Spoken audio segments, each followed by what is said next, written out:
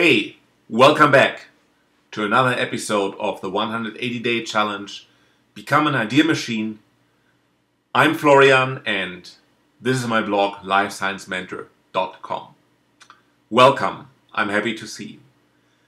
So, today's topic is 11 ways to make your work more efficient, ways to improve your work. And most of these steps boil down to a common principle. Um, you want to be not just like somehow working on something over the day. No, you want to split up your work into small steps where you can say, I did this, this, and that today for my work. And if you have small little intervals that you define before and you know exactly what to do and you know what the end product of today's step should be. Not the end product uh, one year in advance, but the end product of today's effort. If you do that, then you basically transform every day into a succession of small successes. And then that way it's much easier to start the next day um, because you know you knew that when you did it the day before you were successful and defining what you do is a very important element of that that's what I'm explaining with most of these points today, right? So, but to start work on a good foot, we need to find the optimal time to do it. I think for most people, the best time to do work, the most productive, is in the morning. That's at least the case for me. I was uh, thinking that I was a night owl, but working at night is not really is not really something that I'm very productive. If I have to do it, if I have to work at night, I will get it done. Um, and maybe I refer to that, but when I thought I could work in the night, especially efficiently, but if I compare that to the time when I work in the morning, much much more efficient. And so, the optimal time to work for me is actually in the morning. And for you, it actually me it actually may mean the evening is the is the best time to work. We're all different, so but figure that out. Is the morning, the afternoon, or the evening best for you? And then find out the times when you more of have like a like a lull in productivity. That would be for me. That would be the afternoon. Um, so normally, and that's a very common schedule. I work really well in the morning. Then I get like sort of like the air gets out in the afternoon and then start picking up pace in the evening. And what I would normally do is the most important work I do in the morning. And then I run my errands for the day in the afternoon and then come back to do some more work towards the evening, some more creative and focused work, right? Like repeating errands they can be done in between or in a dedicated time when I'm when I'm not very productive either. So then I do repeated tasks. My point is that you should define these, that you have to define these periods for what works best for you. And so never do any creative work when you really feel like in a mental fog. That is not very productive. And also don't waste your most productive time on, on doing some routine work unless you absolutely must. So that would be number one. Then number two is a concept I learned from Gary Keller and Ray Papasan's um, The One Thing. And you basically figure out the one thing that by doing it makes everything else work much better and much more efficient. And by doing that, you actually work um, one block without interruption. That block can be 20 minutes or it can be 4 hours. But the point is you really want to do the most focused, the most efficient work within that one block of time. The problem is if you interrupt your work, it's not just like four times half an hour with four times 50 minutes interruption is not just two hours plus an additional hour of interruption. It's much longer if you have interruptions in between. Why? Because you stop what you're working on. You were probably just getting into momentum, right? You just wrote your text and was just going. Then you interrupt this.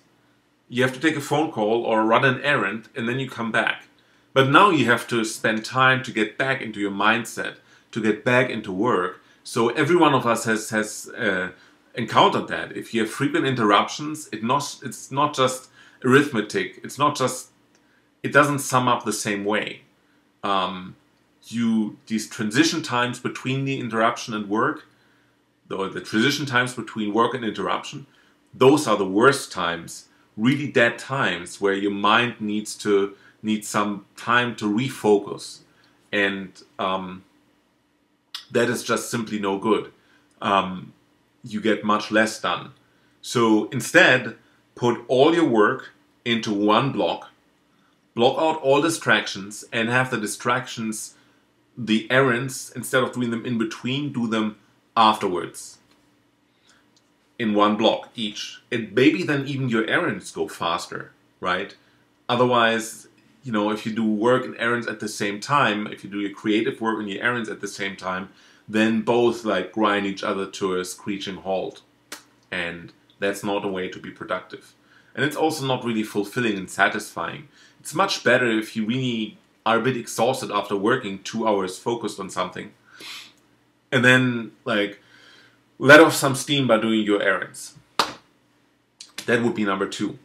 Number three, be specific in purpose, step, and duration of your work. So basically, set deadlines. If you write something like, um, we, if you keep a daily list, you probably have had items on there that was something like clean your house or um, continue the manuscript or continue a work or something like that. Very vague, right? And did these things get done? For me, they didn't. So, what happens if you just define clean your house as one point on your bullet list? Cleaning your house is a big, big area, right? And where do you start? Yeah, maybe, hmm, maybe, but but I I still have to buy this this extra um, detergent to scrub the table. I I'll do that tomorrow when I go shopping anyway. It's, it works better, right? And then you somehow never really get to it. Same with like work on your manuscript. It's like yeah, and then I really need really time to sit down and do this, do that, and read about it, or do I first read about it and then write, or start writing then read? I need some more time to think about it. Does it get done? No.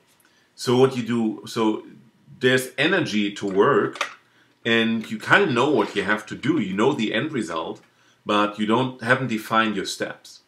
So what you want to do first, you want to do you want to define your one end goal. Cleaning your house, here's where visualization comes into, into play. Clean your house, really think about how your house might look after cleaning.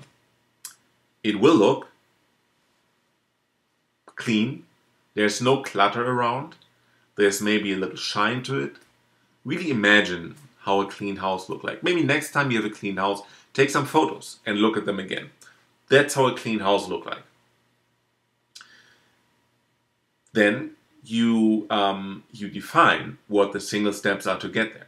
For one house, let's say, steps would be put all the furniture into the next room, sweep or vacuum your room, um, put the furniture back, and then wipe the counters clean. See how precisely that is defined? How easy you can get to work with that? And then you define the duration, also very important. Deadlines, get stuff done. But you don't just like take deadlines as something as something you wait and then do it like one day before the before the deadline is due. No, no, no. Have deadlines in your daily work, right? in the example clean your house, it would be how much time do you have? How much time you need? Probably an hour.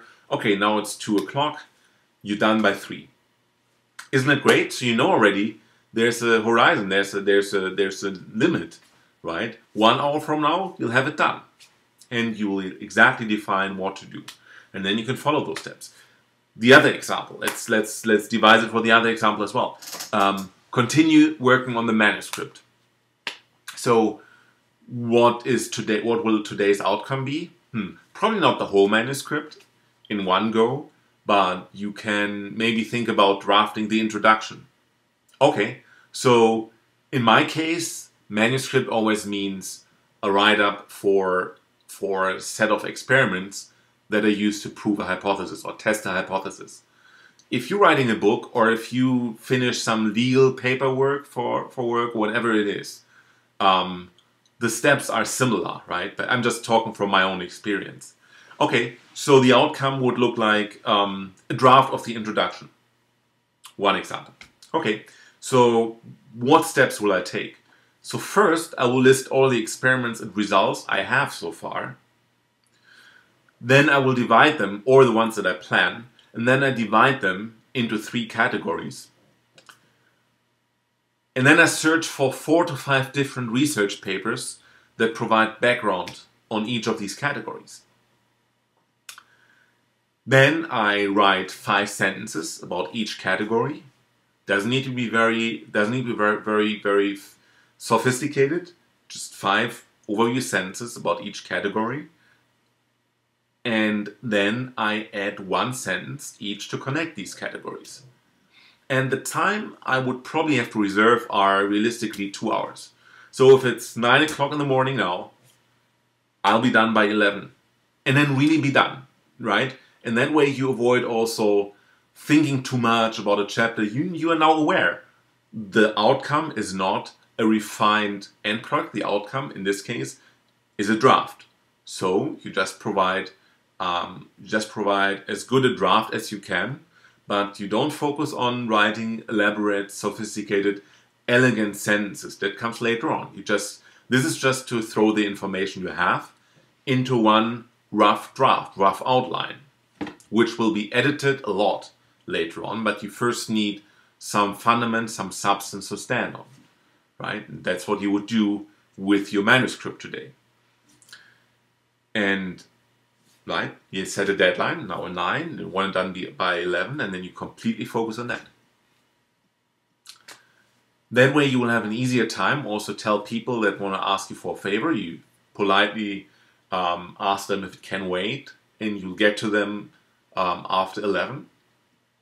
Unless it's really urgent, of course, then you help them right now, but most problems are not that urgent, right? See what I did there? You def I defined a very clear outcome then I split that outcome up into different steps. And those were all doable steps. I know that they're doable from my own experience. And you do the same with, with any manuscript that you write or any documents that you have to work with. It will will be different steps, will different stuff you do with your documents. But you know, if you break the work done work down, um, similar to what I did, analogous to the way I did it, you will be much more successful. At the evening of the day, you look back and say, gee, today I drafted the introduction to my paper. Or today I added these important references um, that, uh, I don't know, I'm just inventing here, that the judge talked to us about, like in the last trial. I'll put them right in. And that's my work for today. And in the end of the day, you say, I did it. I did that step on the on the manuscript, on the legal document. And that's how you have a successful day. Be specific in purpose, step, and duration of your work. That is number three. Number four, and this is what number three directly leads into, is adopt a momentum mindset. You wanted Ludvig Sunström in his blog Start Gaining Momentum talked about um, a momentum mindset. You don't want to just have a day spent working towards something. That's very vague. With what I told you in step three, you have learned now to really um, uh, to really define your projects over the day in like small closed units done in a specific amount of time. So if you do that with as many, if not all the things you do over the day, what do you look back then? You look back at maybe five or six different successes you had. you did a successful, you drafted the, you successfully drafted the introduction. You successfully cleaned up the kitchen. You successfully talked to your boss about the direction of the project. You successfully got all the items you needed to go shopping for. And even successfully had a talk with a friend and successfully advised him of the next step to take in his project. Success, success, success. Doesn't matter if it's for the world standard, if the world regards what you do as a success. No, you regard it as a success. You define whatever you did as a success. And that way you have success, success, success, success. If you know yesterday's yesterday you successfully did 69 squats, full squats in a row, then you'll have an easier time adding one more today. Because you had a success yesterday and you didn't just also do some workout yesterday. No, you successfully finished 69 squats. So today you can do 70. You see how that works? The more successes you define, the more clearly you define your work, the more the easier it becomes for you to to do. It's always define, define, define. The clearer you define the purpose, the clearer you have your vision, the better you will work towards it because you look forward to it now the better you define the steps to take, the better you'll complete them, and the better you, you define the finishing of your project as a success, the more motivated you are the next day to repeat the whole thing again. Momentumize it. Very important to improve your work. Um, then, number five is minimize and simplify steps you know, the big goals, the big visions, the big picture is great for your overall vision. But it can be very useless for a day-to-day occurrence. And that sounds kind of negative. Let's, uh, let's say in a different way. Um, the big picture is great for a goal you can aspire towards.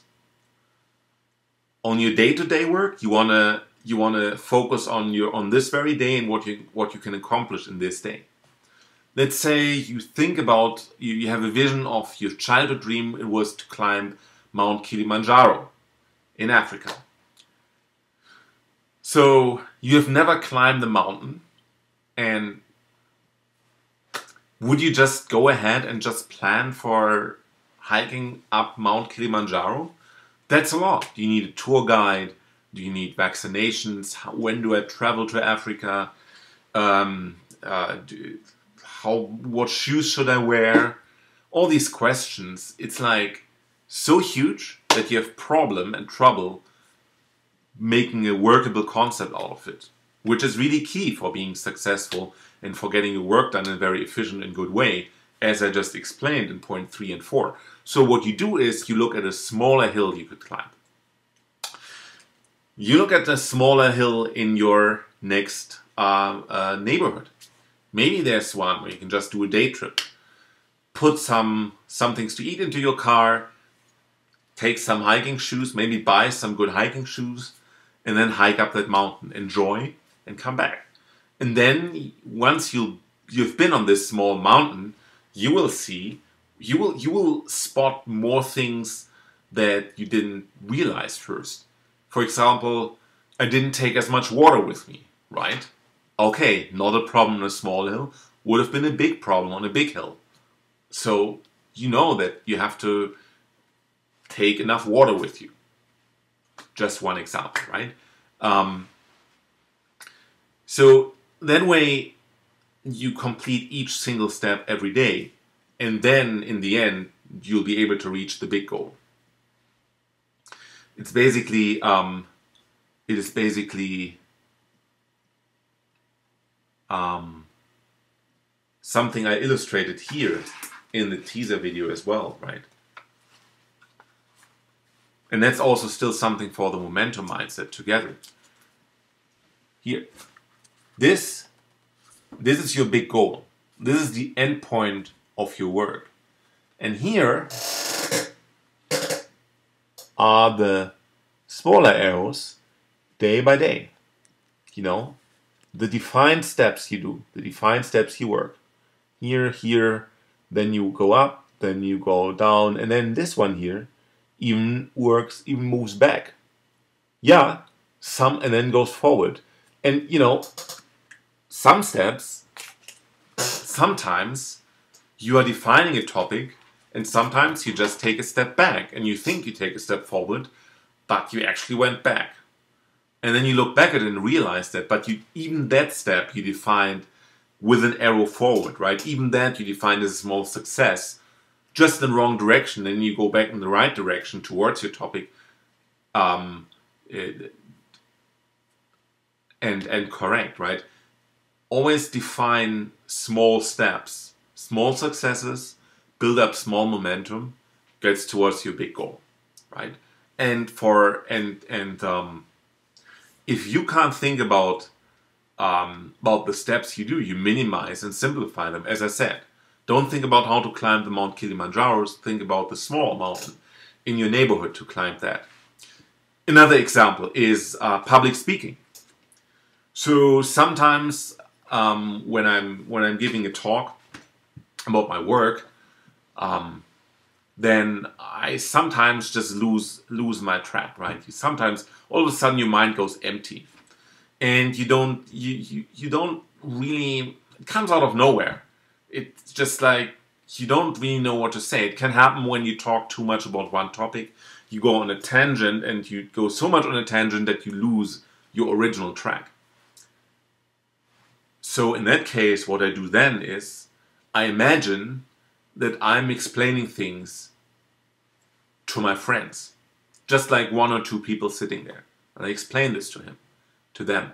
And then I focus back on what I'm doing right now, explaining my work. And then I get back on track in the larger goal with the public speaking. So within that public speaking, if you get some, some sort of brain fog, you can still go back by really focusing on the small things. It's uh, I think it's it's one base of um, being present. If you're if you're getting distracted while writing this, Mike Cernovich has explained it very well in Gorilla Mindset. Um, you go, you realize you get distracted, and then you focus again. I'm sitting here, typing on my keyboard. Words appear on the screen that's what I'm doing. And then you get back into, into being present. Basically, same with setting small steps instead of large steps. Be very present with the small steps you say. You set the small goals on your way to a large goal. Number six, very self-explanatory, really. Make sure you're healthy and fit. Eat well and healthy, work out, and get enough sleep. It's just important. If you feel kind of sickly, you will not be able to to to give your all to fulfill your your, your dreams and your projects, right? Um, if you are healthy and well, you will be much more efficient when working. Number seven, make sure your workplace is conducive to your work. For most people, that means make sure that you clean up your workplace. I noticed several people in research that actually have a mess. And they work well with that. So some people need a very messy desk. Maybe they have all their projects strewn about and then they can get reminded all the time what they still have to work on. Right? Whatever it is, make sure your workplace is conducive to your to, to you getting your work done. Number eight, the two minute rule. If something takes less than two minutes, do it now. Carrying down the trash takes two minutes, maybe it takes three minutes. Who cares? Carry it down. If you don't, you still remember all the day you have to get down your trash. Your, your mind always keeps thinking about that open loop. Trash, trash, trash, trash. Of course, that is not a way to finish good work. So what you ever can do in three minutes, boom, get it done. Number nine, start your work week mentally one day early. So I'm doing that. My Sunday is a Saturday. Why? Because I can, this day, Saturday is basically a cheat day for me. I can sleep long as I want. I can stay up as long as I want because the next day is Sunday. But here's the trick. Next day, Sunday, is my first work day. So oftentimes I don't want to get to bed too late on a Saturday. However, I have the freedom to do so. I don't need to get up early in the morning, but I can. Because it's a Sunday, I really oftentimes love to get up. Why? Because I can work on something when the whole other world is still asleep. I can work on it when everyone else is celebrating their weekend. I can get shit done, and being Sunday, I don't feel as much pressure. On Monday, everyone starts rushing back into work. And then you are kind of like, even if you work self employed, the Monday is still like this physical mark in the week where things go back to work, right?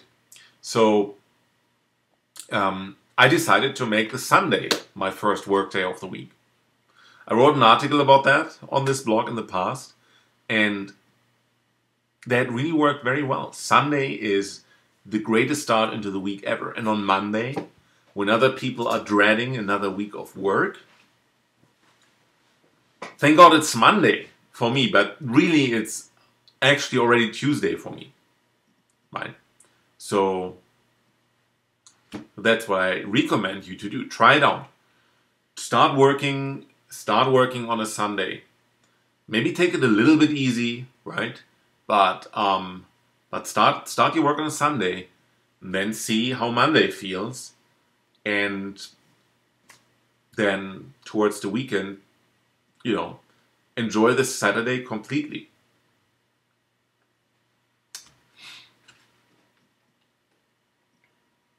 I think that was number nine. And number 10 is stay in touch with people. That is, you may say, something more to fulfill your emotional desires, emotional needs. Yes and no. Um, I had made the experience when there were periods where when I was working really hard on my really hard on my on my um, on my paper, and then people would tell me, friends and family would tell me, "Don't work too hard. You're working too hard," and I found that demoralizing. So solution was there not to listen too much to my family, but you know, maybe you don't want to like shun out your family. The thing is though that nobody tells Arnold Schwarzenegger that he worked too much he worked out too much. Nobody tells Steve Jobs and Bill Gates they work too much. Because those people have tangible success. They can show something. And then you work too much comes from, oh, we are so proud that you worked so much. You worked hard. You can be proud. And then people want to come and and bathe, bask in the sunshine of your success. If your efforts don't yield immediate success, like when you work on a manuscript, you work a lot, but the book doesn't come out immediately, right? Or or um, or your paper doesn't come out. You won't have immediate immediate millions of readers with your blog when you start out. So to avoid that your family or friends tell you you work too much, you need to be aware of one thing first you work too much means actually, I think, something different. Based on the observation, nobody tells Arnold Schwarzenegger that he worked too much. It's basically what's communicated when people tell you you work too much is we don't see that you're having results. You're working inefficient. And then you choose to work on something that doesn't yield anything of result. And you neglect us in favor of some futile work. That's what it basically says. And yeah, people are selfish. That's not always something that they should be condemned for, right? Everyone is a bit selfish, and and I think the only way, if you want to want to keep good contact and not get demoralized by a nagging family or or nagging friends or whatever it is, you want to make sure that you stay in touch with people, which is also very important. You stay in touch with people. You call them once a week, just like sacrifice 10 minutes of your time to call your mother or call your friends or, or go for a coffee with your friends. It's not that hard, and you stay in touch with people. That's also something very nice, you know. That's something that just it's it happens so easily, and that's also from our own experience that you absorb yourself completely in work, and then you com- you you lose sight of your other friends, and you don't want to do that either, right? So keep constant contact with your friends, and that makes in turn your work easier on the long run. It's more fun if you know there's some emotional support from your friends. That's so much better than having to justify yourself why you're not contacting them for a while. And I believe there's always 10 minutes time you can make in between. No excuse really. Number 11, and that's the last part, yes and. We often say yes. Yes, we were happy, but, but, but, we still had to go to work. Yes, the work is proceeding well, but the deadline comes closer and closer. Yes, the sun was shining, but winter is coming soon. You see how these things, um, you see how you curb your enthusiasm there, basically? Yes, the sun is shining, but winter's coming. It's like throw sand into your gears right when you started up the machine. Don't do that. This is how you talk about your work, people. This is how you how you talk about how you perceive your work with yourself. This is your self-talk about your work. Yes, I got the chapter done, but the paper is still so long. There's so much still they haven't done. Not good. Then you go home and think, I didn't do anything. What what prevails in your mind is the thought that your paper is still not done. Not that you did that one that one chapter. No, no, your whole book is not yet done. Stop that. Say instead, yes and. Yes, the work is proceeding. And the finishing date comes closer as well. And that way, you acknowledge there's a finishing date that comes closer, but it's something that gives you energy, right? Your work is proceeding and and yeah, and it's picking up speed, you know. The deadline comes comes closer and closer. And the work is going well and we're really getting into getting into the zone here. We're really getting getting into spirit moving forward. So that is what happens if you use yes and as a technique it's all about your self talk. You think it's a small detail, but it's important because it builds a fundament on which you do, on which you build everything else. If the fundamentals are bad, your work stands on weakened legs. And these, my friends, are 11 ways to become more efficient at work. I hope they help you. I hope I could inspire you do let me know if you have some additional ideas how to how to make your work more efficiently and I'll be happy to answer all comments that you give me either on YouTube or on the blog. So far, stay tuned. I wish you a nice weekend. See you again tomorrow and if you like this video, don't forget to subscribe and click on click enjoy or the other way around. If you enjoyed this video, click on like and subscribe so that more people can see our videos and uh, we can continue the discussion, right? As I said, I see you tomorrow. Thank you very much for listening. I'm, I very much appreciate your support and you watching my videos and reading my blog. And I'll see you again tomorrow. Take care.